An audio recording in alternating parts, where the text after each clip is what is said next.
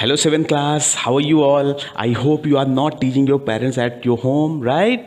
Okay. So, myself Dipenda Singh, your mathematics teacher, going to start the first chapter as I told you in the introduction video. So, in short, we used to say integers are basically numbers.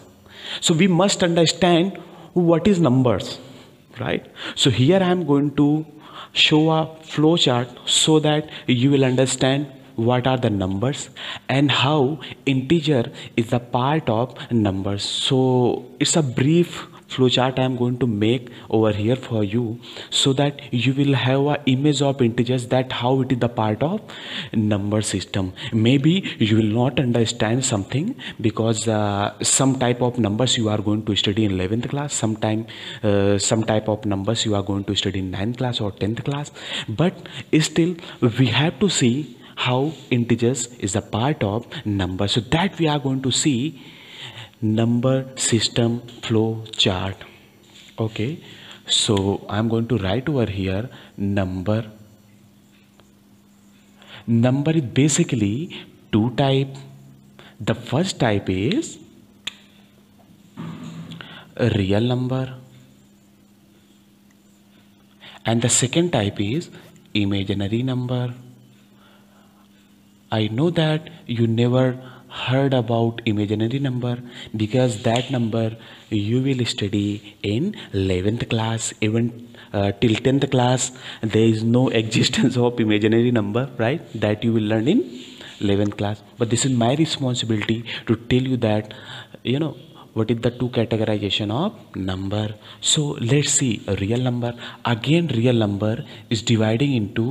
two part the first the first part is rational number right rational number and the another one is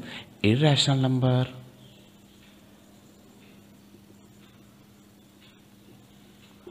again rational number is further dividing into two part the first one is fraction and the second one is integers and now this is your chapter right so so this is how integers is the part of number itna niche hai ye okay further integers is categorized into the whole number and further whole number is categorized into the natural number right and one more thing is there if any number below the any number it means that is the part of that particular number if i am saying rational number irrational number is the part of real number means real number is made of rational number and irrational number so basically the same way integers is made up of the whole number and plus negative numbers so that we will see in the detail that we will see in the detail that what is the correct definition of the integer that we'll see in the detail here only i want to tell you how integers are the part of numbers right so i think you got it so let's start with integers so first of all i'll ask you what you have learned in sixth class so basically we have learned in the sixth class, we have learned over there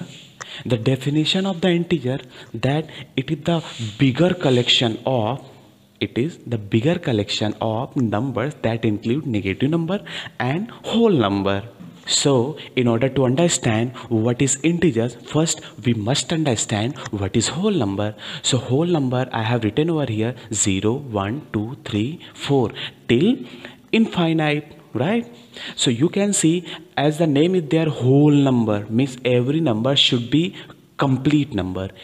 2.5 cannot be a whole number so all number are complete numbers right and all numbers are positive number also so negative number if I'll put minus sign in the front of all whole number so it will look like something like this until infinite what is the meaning of infinite infinite means there is no limit of these numbers it can be 1 million 1 billion 1 trillion it can be any number with positive sign right that is why i put put over here infinite sign now what is the integers integer is basically the combination of whole number and this type of negative numbers not all negative number right minus 1 by 2 is also a negative number but it is not a this type of category that is why i have mentioned over here this is the special negative number category after putting minus sign in the front of all all whole numbers so this is the combination of these two family of numbers so it is called integers i hope uh, now you got the clear picture of integers right okay so the next thing we are going to see how to represent integers in the number line and we also have to understand what is number line so number line is basically as a name is there number line so line means we have to make the line and we have to represent number on that very simple as the name is there the same work is there means what i'm saying number line number line so number line is basically as the name is there the same work is also there means we have to make a line right in between i have to make zero and then right hand side i'll write positive number 4 5 then 6 then 7 and in the left hand side i'll mark negative sign minus 3 minus 4 and then minus 5 minus 6 then minus 7 so this is how we used to represent integers in the number line as the name is there same work is there you have to make a line and you have to represent you have to write the numbers and you can see I have created a particular interval you can see over here I have created a particular interval in between that I can write directly you know very near but I have created interval you know why I have created interval? Because so many number will come in between every interval. Okay, let me ask you, if I'll ask you, how many number, how many number, I'm not talking about integers, I'm asking how many numbers are coming in between 0 and 1. Can you reply it? How many number will come between 0 and 1? Okay, let me tell you infinite number between 0 and 1 infinite number will come so how infinite number why i'm saying infinite number so you have to think and tell me in the comment box that why i'm telling that between 0 and 1 uh, you know infinite number will come so few points we are going to discuss about number line few points are like if 2 is there so opposite number opposite number or 2 will be minus 2 opposite of 3 will be minus 3 opposite of 4 will be minus 4 and very interesting point is that from 0 it will from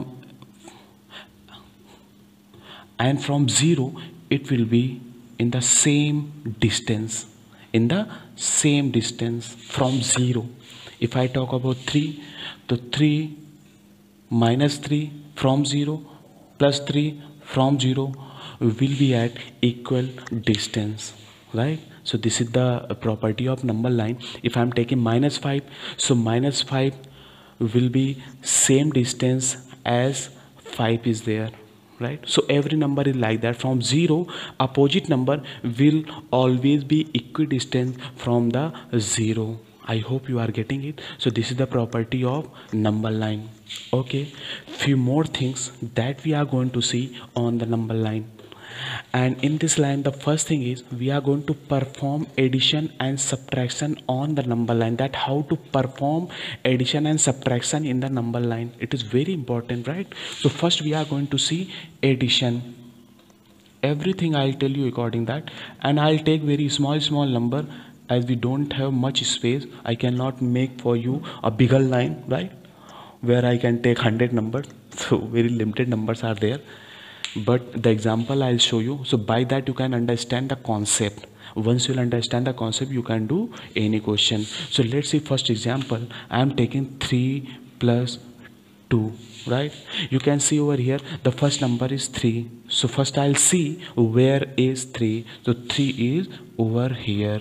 we have seen a 3. Where is 3? So we have seen 3. Now you have to add on 3 because, acha, one more thing is there. One more thing is there. If any number is there, for example, I have written 5 and no sign before the 5. So by default, there is always plus sign. No sign is there, it means plus sign is there. So I'll see plus 3. Where is plus 3? Plus 3 over here. Now we are going to add on 3 plus 2 so when we are adding a number to any number so we have to go into the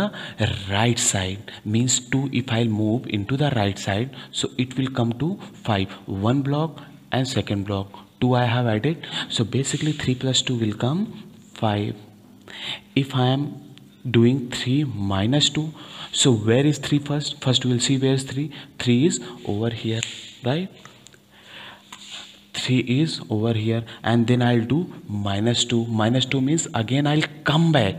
means when we are subtracting any number right so we have to move in left hand side and left hand side how much you have to move 2 you have to move so 1 2 means 2 blocks these are blocks so 2 blocks I have to move then I'll get 1 so 1 will come as a result okay same thing if I'm writing minus 5 and from minus 5 I am adding 2 so what I'll get as a result so let's see number line how we can calculate this expression right through the number line so first of all we will see where is minus 5 so minus 5 is over here we can see clearly minus 5 is over here and now we are adding one number if i'm adding one number i told you we will always go right if we are adding any positive number so again we will go right only so one block and second block we are moving in the right only so the answer will come minus 3 so it will come minus 3 if i am taking minus 4 right and i am doing minus 2 so what will be the answer so let's see you know in the number line first of all I'll see where is minus 4 so minus 4 is over here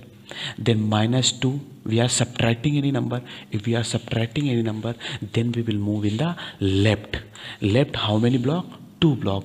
so one block and another block right so answer will come minus 6 so here I'll write minus 6 right Acha, few observations that I want to tell you over here you have seen minus 5 plus 2 if you had to solve directly mean without taking the help of number line so how you will solve it means minus 5 plus 2 and how it is coming minus 3 so there are some rules of addition and subtraction that we are going to also see means without number line how can we perform addition and subtraction so, in short, you can say when we are adding any number, so you have to move into the right, right? When we are subtracting any number, when we are subtracting any number, we have to move in the left. So, these two points you have to take care. So now we are going to see the next topic that is what are the rules of addition and subtraction in the integers. So rule number one is when we will add any two number a and b and both the number will have same sign. So how to perform? So we are going to see for example 6 plus 7 6 and 7 both are actually positive numbers right before 6 if no sign is there it means by default it is plus that I told you right so we have to simply add it 6 plus 7 it will come 13 you can say sir you are teaching us a simple you know addition but let me tell you the fact i am telling you all calculation part that how to perform addition subtraction multiplication division in the integers because you know in the future you are doing these all mistakes right after doing mistake your whole question is getting uh, you know wrong so that is why i'm telling you these are small small things and next thing is if i am minus 6 and minus sign i'm adding so how much it will come again it will come 13 only but negative sign will come right means if both the numbers have same sign so simply you have to add it and sign will come according to their sign i hope you are getting it if i am writing 13 plus 8 so it will come 21 if i am writing minus 30 minus 8 again it will come 21 only but sign will come minus because both the number having minus sign i hope you are getting it now rule number 2 rule number 2 is if i am subtracting a minus b a minus b so what will be the result we will see through the example for example 6 minus 5 so it will come 1 if I write minus 6 plus 5 again it will come 1 but here minus sign number is greater than the 5 so minus sign will come I hope you are getting it uh, another example 13 minus 8 it will come 5 and if I'll write minus 13 plus 8 it will come minus 5 ultimately we have to subtract it and 13 minus 8 will come 5 but sign will decide by in these two numbers which are having negative sign if number having negative sign is greater than the another one so ultimately minus sign will come let's see another example 2 minus 27 result will come 25 means uh, in 27 I'll subtract 2 it will come 25 but what will be the sign of 25 that will be decided by in these two number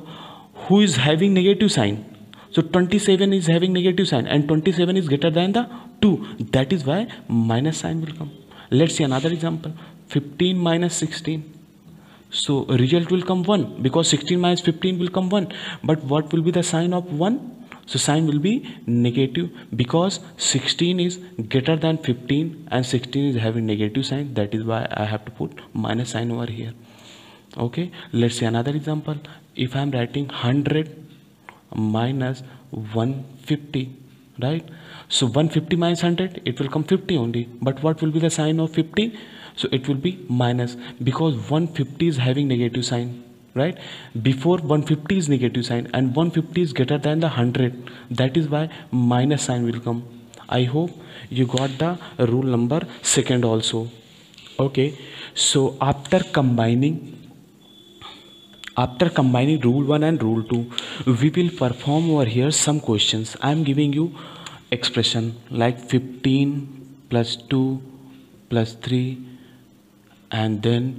minus 21 how to perform it we will see one by one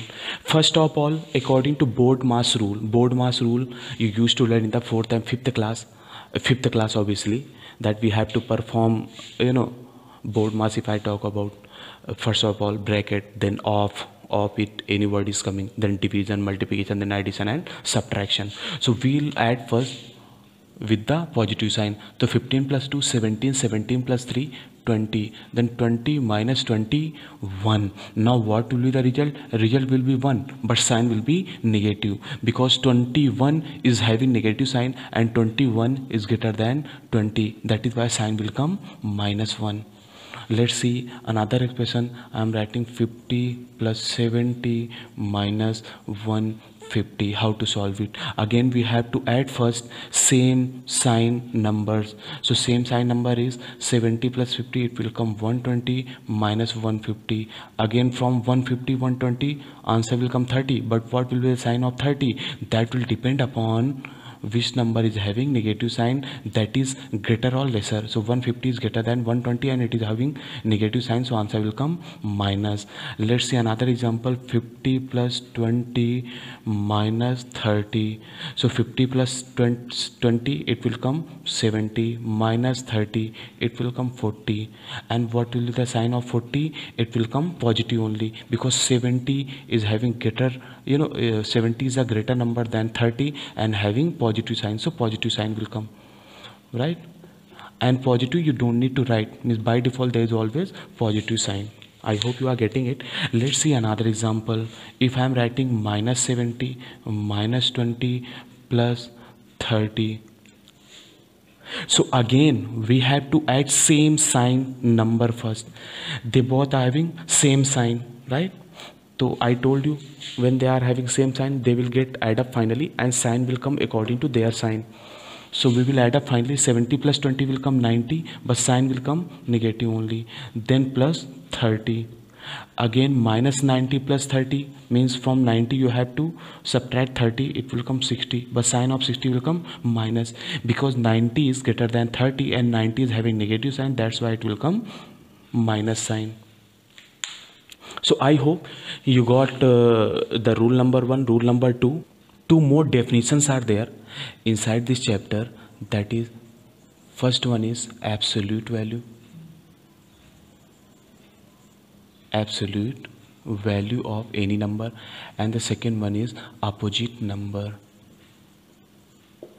so somehow i told you before also but uh, let's see again separately so absolute value means if i am writing 9 what is the absolute value of 9 that will be 9 only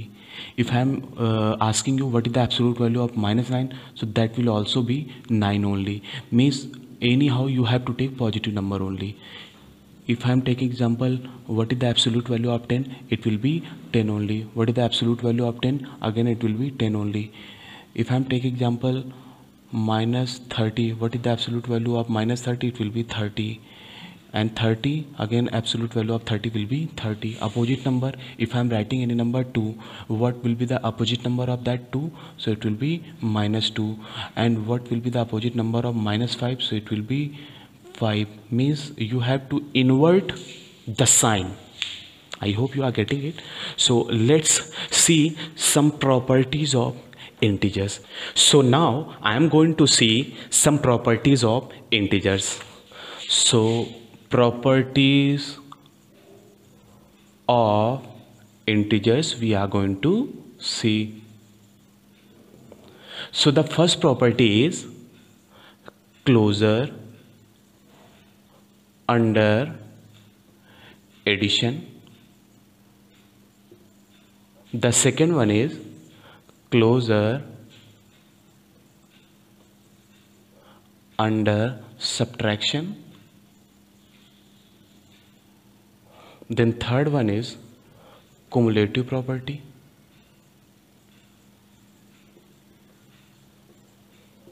Cumulative property. And the next one is associative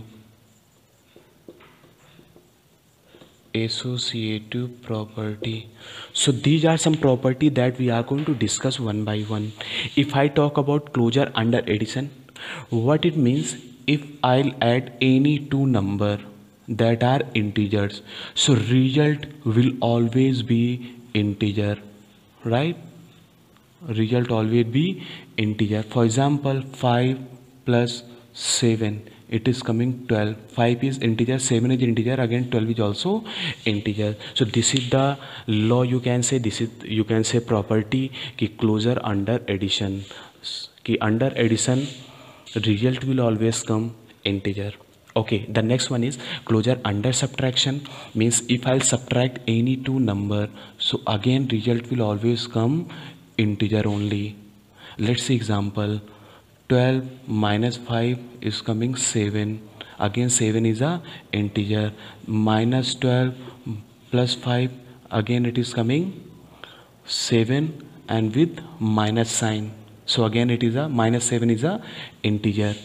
Okay, I hope you understood these two property. According to cumulative property, while we are writing numbers with plus and minus sign, so their sequence will not be matter like a plus b is equal to b plus a both are same let's see example 7 plus 2 is also equal to 2 plus 7 because 7 plus 2 will come 9 and 2 plus 7 will also come 9 and both are equal another example if i'm writing minus 9 plus 2 so their sequence will not matter means i can write 2 first and minus 9 i can write you know after 2 so let's see what is the result of this it will come minus 7 and 2 minus 9 it will also come minus 7 so both are equal so basically their sequence will not matter so this is basically cumulative property right okay uh, let's see another property associative property so for this I'll I'll take so for this I'll take one example like you are living in your home right i'm talking about you student sometime you are living with your uh, you know mother sometime you are living with grandmother but overall i'll say that you are staying in the home only right same thing is here that if i'm writing 7 plus 2 plus 3 i'm putting bracket over here this is you this is you ye aap ho kabhi aap grandmother ke sath ho sometime you are with mother But I'll say you are in the same home, right? If I'll perform addition over here, so 7 plus, first I'll solve the bracket, so 3 plus 2, 5, and it will come result 12. Here again, first I'll solve the bracket, so 7 plus 2, 9, 9 plus 3, again it will come 12. So both are equal, means uh, basically addition and subtraction is following these all properties so these all properties I am here telling about addition and subtraction because you can see over here everywhere I am dealing with the sign plus sign minus only so these all properties I am talking about addition and subtraction these all the same property these all same property we will discuss about multiplication also these your property will discuss about division also right so these three here we have discussed about addition and subtraction associative i think you are getting it let's see another example if i'm writing 8 minus 3 plus 2 and i'm putting bracket over here what will the result 8 minus 3 5 5 plus 2 will come 7 i'm changing now associativity that 8 then plus minus 3 plus 2 right so again what will come it will come 8 only and minus 3 plus 2 it will come minus 1 right again 8 minus 1 will come 7 so both are same so I can say addition and subtraction is following these all three rules closure under addition closure under subtraction cumulative properties and associative properties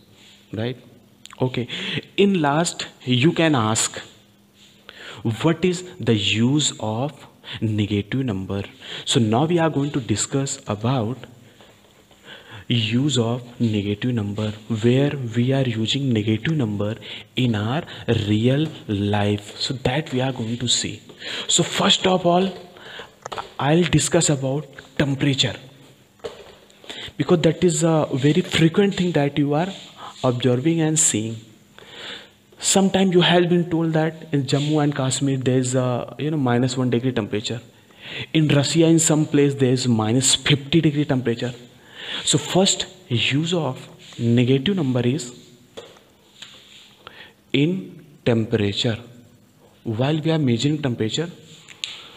we are giving plus and minus sign so that you can understand that how you know warm or how cold it is if i'm saying minus 10 degree temperature so you will feel oh my god minus 10 means uh, you know something horrible very cold if i'll tell you that 45 45 degrees celsius so oh my god it is very hot so by you know seeing the number only by listening the number only you can feel that uh, you know how cold or how hot it is so this is the practical use of negative sign okay the another one is sometime when you are going you know on the sea and you are seeing any mountain right mountain and sea level is this and the top length i'll count in i'll count in positive sign and the down length i'll count with negative sign right positive sign i'll count right means plus 1 meter 2 meter 3 meter 5 meter and down the sea level this is the sea level down the sea level i'll give the minus sign like minus 2 meter minus 10 meter minus 100 meter right like this i'll give